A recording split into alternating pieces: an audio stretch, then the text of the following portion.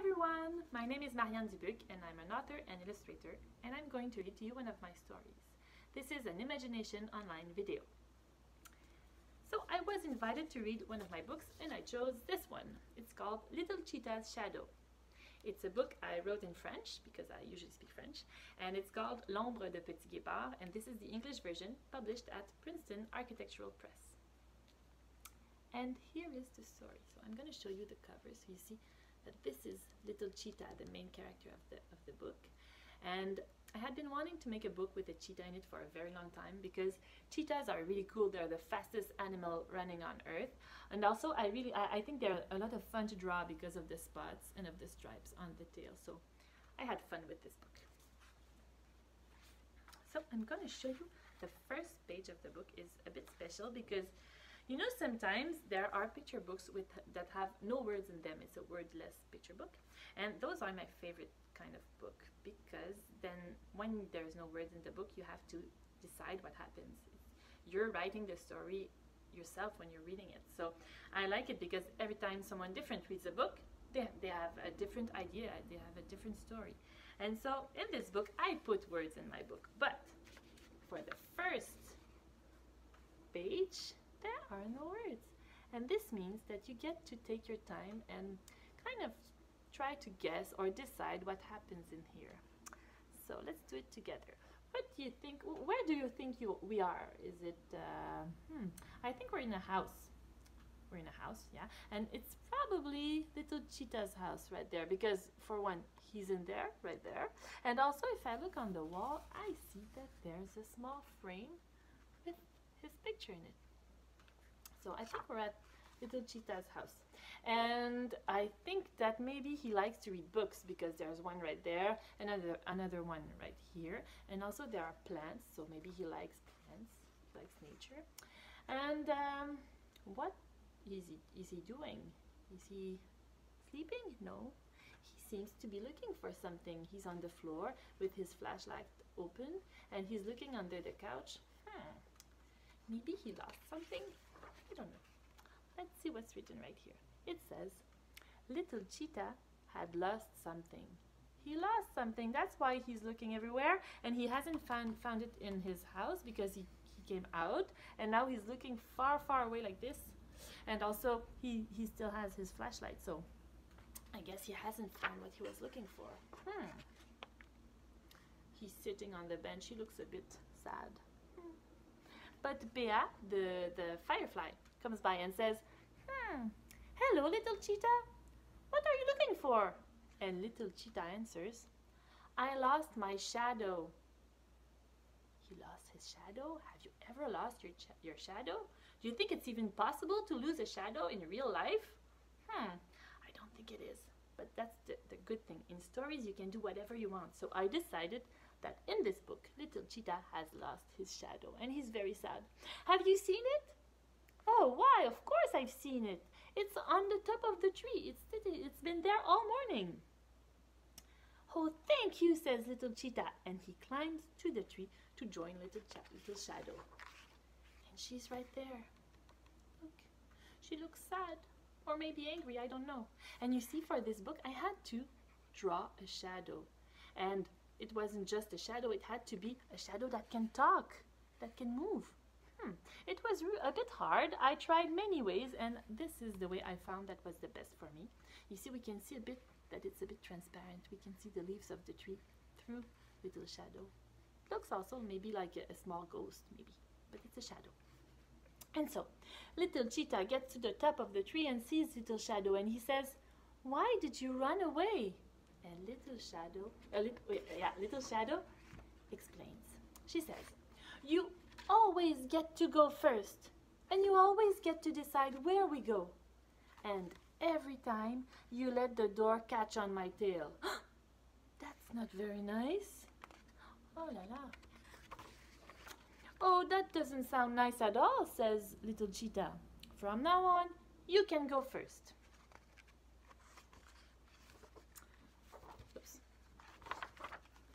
and little shadow is very happy she's the she's the one who goes first and little cheetah is happy too because he gets to watch the butterflies and take his time, and everyone is very happy, and it's a beautiful day. Oh, could we stop at Boo Boo's bakery? asks Little Cheetah. I'd like to buy some bread for breakfast. And Little Shadow happily agrees. But as they leave the bakery, Little Shadow lets the door close on Little Cheetah's tail. Ouch! cries Little Cheetah. Excuse me, says Little Shadow. Little Shadow, she didn't do it on purpose.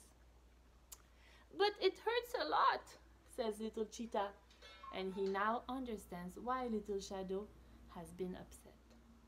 But I didn't even think about it, says Little Shadow, who now understands why Little Cheetah never thought about it before either. Hmm. And Little Cheetah and Little Shadow decide that maybe the best solution would be to walk one next to each other. No one in front, no one in the back, both equal. Good idea, they say, and they're really happy and they're going home. They're going through the village, meeting Mr. Frog and the little baby bunny right there. And they're almost home when they get to a tunnel. Hmm. They get to a tunnel and little Shadow stops and she doesn't want to go in. She doesn't want to move. She says, No, I can't go in. You have an idea why she can't go into the tunnel? What happens when you go in the tunnel? It's very dark. There's no light in there. And when there is no light, do you have a shadow? Shadows can't exist without light. So she doesn't want to go in. She doesn't want to disappear. She says, Oh no, in the dark, I disappear. So she doesn't want to go in. Hmm. But they have to go in because they have to go home. What could they do? Do you have an idea? Hmm. What could they use that would help them to go through the tunnel without it being all dark? Do you have an idea? Do you remember? Look right here. Little cheetah, he still has his flashlight in his bag. So they can go through. So little cheetah goes in front. He opens up his little flashlight, turns it on, and he says to little, uh, little shadow, Stay close to me. Don't let go. And little shadow closes her eyes and she she holds on on little onto little I'm sorry. She holds on uh, to little cheetah and together they cross the darkness. And once they went through the tunnel, they're home. And as they go in, little cheetah holds the door for little shadow and says, "Please come in." And they're home. And it's the same page as the beginning you see? It's the same page but it's a bit different because a, lot of things have moved right? The book what, that was on the table right there well it's on the floor. And there's the bread. They ate the bread with jam and with lemonade and they've been playing cards and i think they're really happy. And little cheetah has put his flashlight away because he doesn't need it anymore. And they're really happy. And at night when it's time to go to bed Little cheetah leaves a light on for little, little shadow so it doesn't go all dark. Good night, little shadow. Sleep tight, little cheetah. They're happy. And this is my story. So they learned to take care of each other because they hadn't thought that their actions might have an impact on the other one and might not make him happy. So now they're better friends. And there's something I want to show you in the book. You remember, this is the first page of the book that I showed you, where we see little Cheetah's house. And there's something different when we get to the end of the story and we go back to his house. Tons of things have changed place, but there's one thing that hasn't moved, but is very different. I'm gonna show it to you. So, you remember there was a small hanging on the on the on the, the wall with a portrait of little cheetah? And at the beginning of the book, little cheetah, he lost his shadow, so he's all alone. And see in the in the little hanging, he's all alone. But look at the end of the book, what happens? He found little little shadow, and she's there with him in the book. You see? So at first there is no, there's only little cheetah, and then little shadow is right there. That's something I like to do in my books. I like to hide things, small details in the images so that you get to discover them and think, ah, now I'm really good. I found a small secret detail in the, in the, in the page. So that's how it is. I thought maybe I would show you how I draw my cheetahs. So I'm gonna stop this video, change my camera, and I'm gonna show you how I draw little little cheetah right there. So see you soon. So I'm back and here I have little cheetah and I have my paper and my pencil and I'm gonna show you how I draw little cheetah. So I always start with the ears. I don't know why, that's why where I like to start with little cheetah. And once I've done the ears, I can do the rest of the face like this. And I like to do the nose because the nose helps me to see where the eyes should be so that it doesn't look very weird. So the eyes are gonna go right here and I'm gonna make them um, a bit closed because he's laughing so much. He's so happy to be in your drawing. So that's why I made his eyes almost closed. And he's going to be walking around. So I'm gonna make his one of his legs walking like this. And the other one is gonna be right here walking like this. Now I have to go up and I should leave some space to do one arm. And one of his arm is gonna be like this standing up because he's very very happy. See the other one is gonna be right here. And he's saying hi I'm so happy to be in your drawing. And this is the tail. I'm gonna make a shadow here and he's there's one shadow here because he, his uh, foot is still on the floor, but this one has, hasn't touched the floor yet, so it's the, the shadow on the floor right there. And I'm gonna add some grass, a bit of grass, so we see where the floor is. And now I have to make my favorite part of the cheetah, which is spots. I like to make the spots. So I have to make them one by one. But as I draw them, it's like little cheetah comes to life. And you know, for every book that I make, I always like to draw my character a few times in many different positions so I know I can draw him in my book in every way I need to to tell the story. So I have to practice a lot at, first. And once I think I have it, I got it, then I can start making the whole book.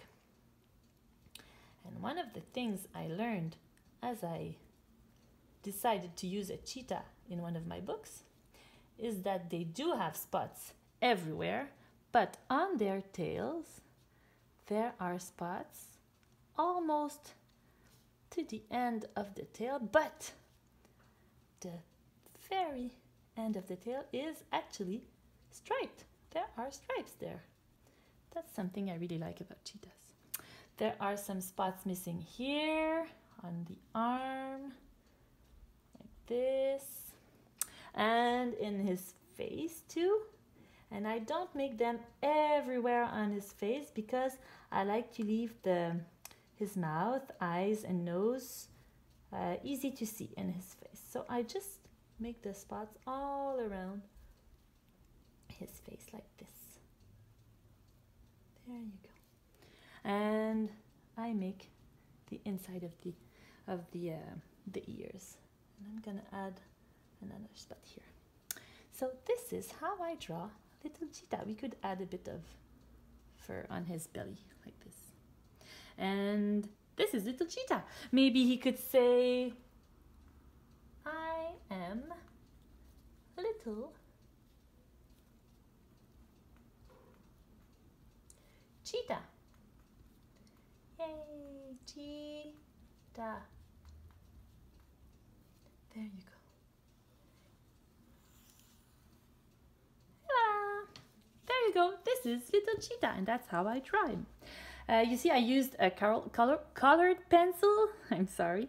It's uh, these are the ones I really like to use because because they're soft enough when I draw. I like the way they work on paper. So I usually also use watercolor to make my the colors in the book, which is paint.